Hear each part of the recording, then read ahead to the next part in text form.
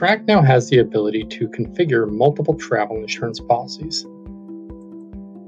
You can still only have one travel insurance policy per unit as available to the guest. However, you can configure multiple. Once you configure multiple travel insurance policies,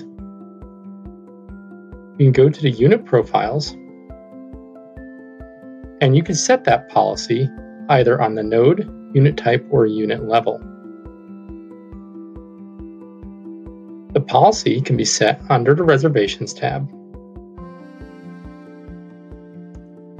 Once set, it will carry down from the node to the units, or other nodes below that node.